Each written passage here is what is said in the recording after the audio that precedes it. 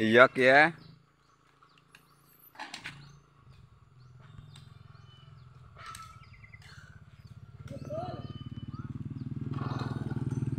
Hei. Apa sih? Ini.